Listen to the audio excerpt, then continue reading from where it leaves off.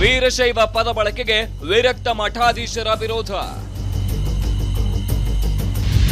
ಬೆಂಗಳೂರಿನ ಸಭೆಗೆ ಪರ್ಯಾಯವಾಗಿ ನಡೆಯಿತ ಬೆಳಗಾವಿ ಧರ್ಮಸಭೆ.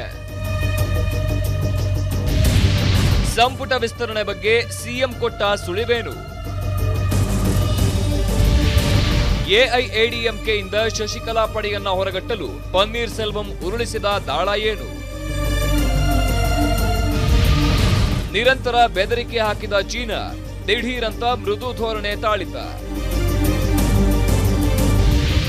ಇವೆಲ್ಲ ಇವತ್ತಿನ ಒಂಬತ್ತು ಗಂಟೆ ಪ್ರೈಮ್ ನ್ಯೂಸ್ನಲ್ಲಿ ಶಶಿಧರ್ ಭಟ್ ಜೊತೆ ಜಿಎನ್ ಹೆಗಡೆ, ರಮೇಶ್ ಗೌಡ, ಕವಿತಾ ರೆಡ್ಡಿ.